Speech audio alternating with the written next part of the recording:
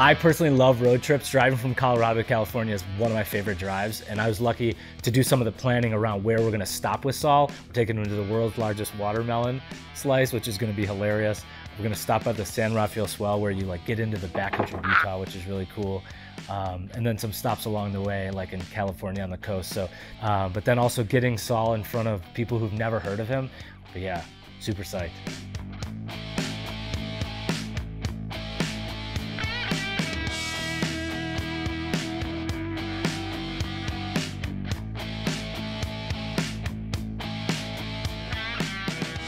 And in the planning of it, we're so tightly timed with our stops, especially on the first day, because it's a long drive, that I'm worried about like when we get out at the Utah sign, like what's gonna happen? Like I've been to that sign, the road just like drops off, right? So like, like we have to get him in and get him out and, and work together, and I think we'll be fine.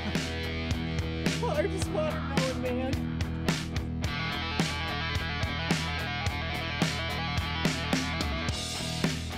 When you're planning a trip like this, I think that's the part that you don't know, the unknowns, right? Like you can plan as much as possible, and I'm sure something's going to change along the way.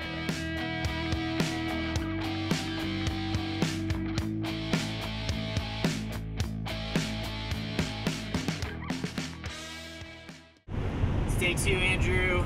We got a little bit of rest, some crappy food last night. What are you gonna do? Life on the road. Saul's doing well think he slept all right in the van. Saul, how did you sleep?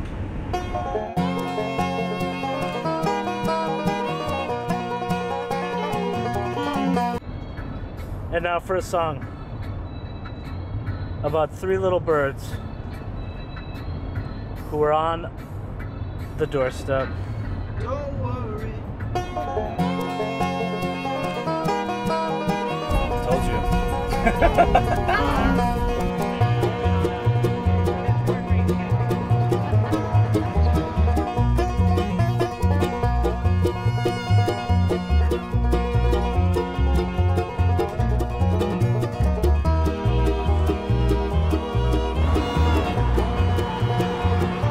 There you are.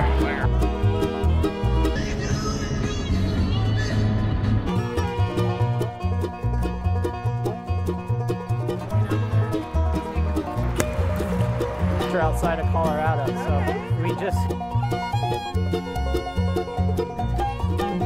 Man, we have had so much fun, Andrew, on Saul's excellent adventure.